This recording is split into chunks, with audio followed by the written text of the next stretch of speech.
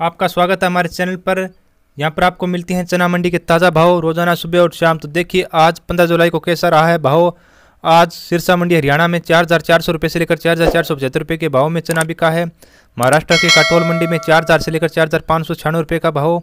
रायश्रीनगर मंडी में चार हज़ार तीन सौ इक्यावन रुपये से लेकर चार हज़ार छः सौ दो रुपये की बोली रही है। गज सिंहपुर मंडी में चने का भाव चार हज़ार चार सौ पैंतालीस रुपये से लेकर चार हज़ार पाँच सौ छियासठ रुपये का रहा। नागपुर मंडी में महाराष्ट्र के अंदर चार हज़ार तीन सौ से लेकर चार हज़ार आठ सौ पचासी रुपये का भाव राजस्थान के गंगापुर सिटी में चार हज़ार तीन सौ इक्कीस से लेकर चार हज़ार चार सौ पैंतीस रुपये का भाव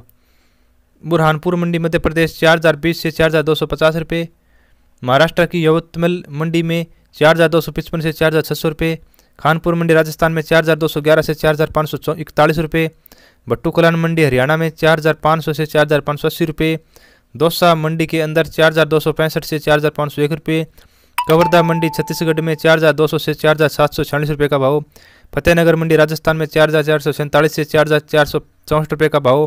भिवानी मंडी में चार हज़ार दस से लेकर चार हज़ार तीन सौ अठहत्तर रुपये का भाव राजस्थान के सवाई माधोपुर में चार हज़ार दो सौ दस से चार हज़ार चार सौ पाँच रुपये की बोली उत्तर प्रदेश के झांसी में आठ हज़ार पाँच सौ छब्बीस रुपये का भाव रहा निम्बा हेरा में चार हज़ार दो सौ दो रुपये से लेकर चार हज़ार तीन सौ इकहत्तर रुपये का भाव रहा यह आज का ताज़ा चना मंडी का भाव आपको वीडियो कैसे लगी कमेंट करके ज़रूर बताएँ